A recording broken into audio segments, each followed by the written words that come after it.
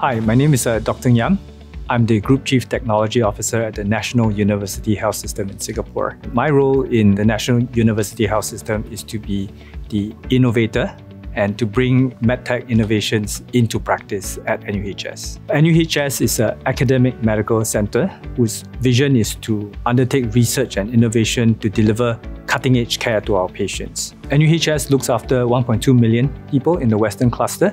Uh, within the healthcare setting itself, uh, we, we roughly account for about a third of the healthcare manpower. We also include the schools in our headcount, so the schools of medicine, dentistry, nursing, and oral health.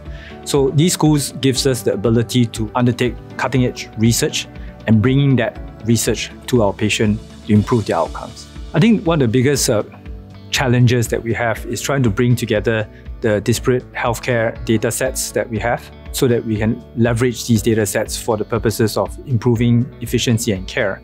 And to do that, we are embarking in a large digitization kind of uh, initiative throughout the whole cluster. One of the key strategies is to move to a commercial cloud. So in healthcare, uh, security is paramount. We have a duty to our patients to preserve their privacy as well as the security of the data in its use and distribution. So one of the hallmarks of being on the commercial cloud implies that we have almost a global support when it comes to uh, cybersecurity.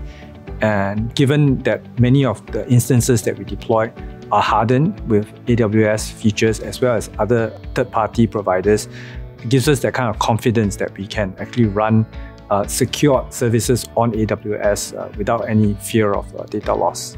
AWS Commercial Cloud Services is central to our strategy for digitization so it's not just one project, but many, many projects that we have are going to be built on AWS or have been built on AWS. But certainly everything from chatbots to applications that we have already built to aspirational projects such as the Cloud Robot project, where we are leveraging all of AWS's uh, capabilities to build a ward-based cloud robot. We are intending to center some of our other services on AWS, so from research development environments all the way to a new concept called cloud robotics, where um, all the components we run off AWS, including the other partner kind of components that we hope to leverage the whole ecosystem. So the kind of uh, data sets that we have uh, come from our day-to-day uh, clinical practice with our patients from the electronic medical record system. We also have research data sets, as I alluded to earlier, that uh, we undertake a large number of research projects.